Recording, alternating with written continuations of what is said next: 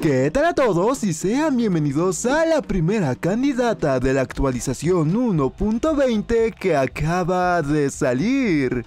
Esto sería más emocionante si no supiéramos la fecha de la 1.20 oficial, que si no lo sabes es este 7 de junio. No sé si lo recuerdan, pero antes cuando nosotros teníamos una candidata, esto nos quería decir de que la actualización oficial ya se acercaba. Ahora la verdad es que ya no es ninguna sorpresa desde que nos dan la fecha en la cual va a ser publicada la versión oficial, pero de cualquier manera. Esta candidata arregla la monstruosa cantidad de solo dos bugs y como lo menciona la feedback es probable que sea la única que nosotros vayamos a ver antes de la actualización 1.20. En este caso los bugs que fueron arreglados son los siguientes. Los libros de conocimiento ya no se pueden colocar en estanterías cinceladas y la planta de jarra se rompe y flota cuando crece sin suficiente luz.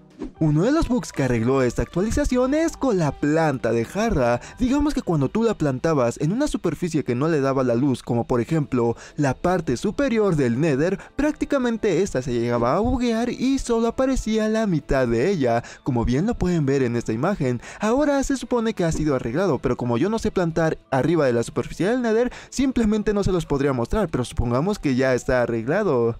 Y finalmente tenemos el último bug, que tiene que ver con la estantería cincelada, una persona que quiso obtener todos los libros de Minecraft dijo lo siguiente, ah, voy a probar el libro de la enciclopedia de Minecraft para ver si se puede meter en la estantería cincelada. Al ver que prácticamente no se podía meter dentro de ella, pues colapsó, lo reportó y ahora lo podemos meter. Podemos meter cualquier tipo de libro que haya ahora mismo en Minecraft dentro de la estantería cincelada, como libros encantados, libros normales, libros con pluma, libros ya firmados y finalmente la enciclopedia de Minecraft, que este es un artículo exclusivo de Minecraft Java y que solo se puede conseguir con comandos. Sí, este artículo solo se puede conseguir con comandos, pero ahora mismo la podemos meter en la estantería cincelada sin tanto problema, e inclusive nos las devuelve, algo que no sucedía anteriormente.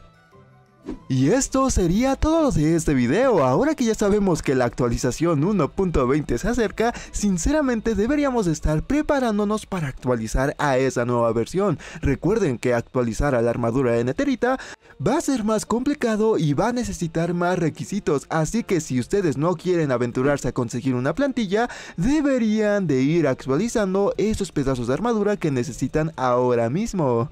Yo de esta manera me despido, mi nombre es Loboxy y nos vemos en el próximo video. Apareció arriba de la lava.